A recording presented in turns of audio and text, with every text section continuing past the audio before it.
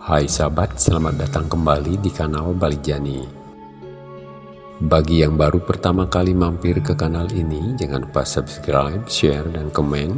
Selain agar sahabat tidak ketinggalan konten-konten kanal Balijani berikutnya, juga supaya semakin banyak sahabat kita yang mengetahui keberadaan kanal Balijani, sebuah kanal tentang Bali dalam babat budaya dan pariwisata. Pada kesempatan ini, Tutsugi akan berbagi cerita mengenai perpindahan pusat kerajaan Bali dari Samplangan ke Gel-Gel. Menurut buku sejarah dan babat keloping yang ditulis oleh DRSKM Suhardana, perpindahan pusat kerajaan itu berlangsung ketika Idewa Ketut Ngelesir naik tahta.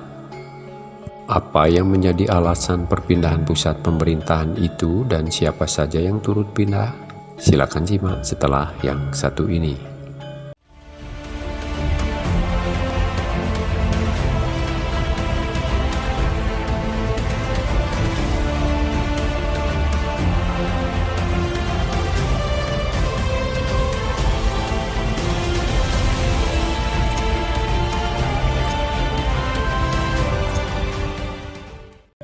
Idewo Ketut Ngelesir yang naik tahta pada tahun 1383 bergelar dalam Ketut Semara Kepakisan.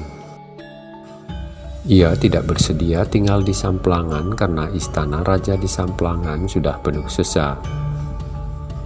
Sebagai gantinya, ia memilih tinggal di Gel-Gel dan menempati rumah yang disediakan oleh Krian Klapediana alias Kiai Kebon Tubuh Putra Arya Kutawaringin.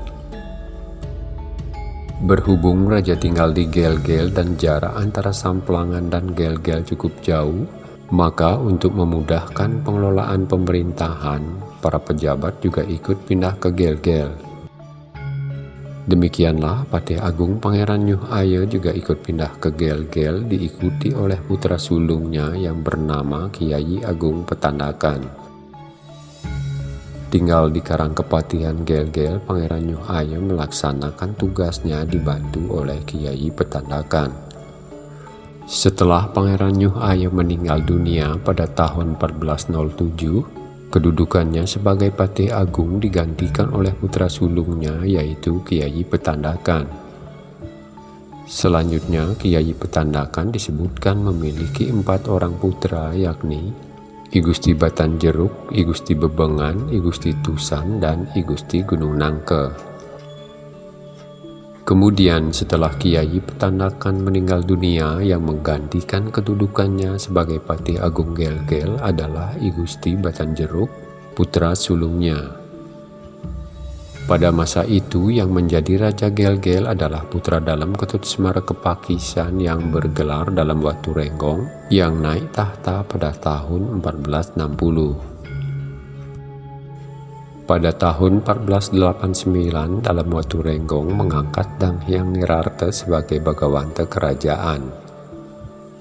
Pada masa itu diperkenalkan konsep kerohanian yang disebut Tripuruse yaitu Siwa, Sadasiwa, dan Paramasiwa dengan susunan vertikal sebagai penyempurnaan konsep Trimurti ciptaan Empu Puturan yakni Brahma, Wisnu, dan Siwa dengan susunan horizontal.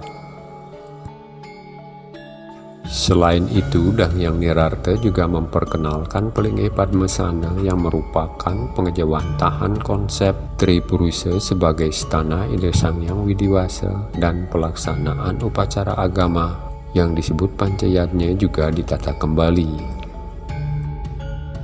Namun, satu hal yang oleh pihak tertentu dianggap sebagai kelemahan yang tidak disadari atau memang sengaja dibuat oleh Yang Nirarte adalah Diterapkannya sistem Triwangsa berdasarkan keturunan dan kelahiran semata sebagai ganti sistem catur warna sebagaimana telah berjalan sebelumnya yaitu sistem strata sosial yang didasarkan pada profesi, kemampuan, fungsi, dan tugas kewajiban seseorang. Dang Yang Dirarte sendiri mempunyai lima orang istri dan dari setiap istrinya kemudian dibuat kelompok tersendiri dengan memberinya gelar Brahmana. Keturunan dari istri pertama yang berasal dari Kediri, Jawa Timur disebut Brahmana Kemenu. Keturunan dari istri kedua asal Pasuruan Jawa Timur disebut Brahmana Manoabe, keturunan dari istri ketiga dari Blambangan Jawa Timur disebut Brahmana Keniten, dari istri keempat yang merupakan adik Bene Semas dari Bali disebut Brahmana Mas, dan dari istri kelima yang merupakan pembantu Bene Semas dari Bali disebut Brahmana Antapan. Lebih lanjut disebutkan bahwa pengelompokan masyarakat ke dalam golongan Brahmana, Kesatria, dan Wesya yang dinamakan Triwangsa itu ternyata membawa dampak yang kurang baik bagi kerajaan. Yang berkembang hanyalah feodalisme, sedangkan semua pikiran positif, kritis, kreatif, dinamis, dan progresif dikatakan menjadi tertekan dan tenggelam.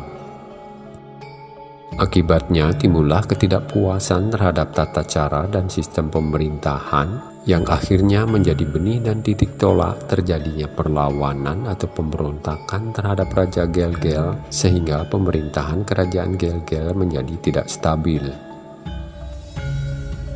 Demikian secara singkat kisah mengenai perpindahan pusat kerajaan Bali dari Samplangan ke Gelgel dengan segala perniknya menurut buku sejarah dan babat geloping. Semoga bermanfaat. Rahayu.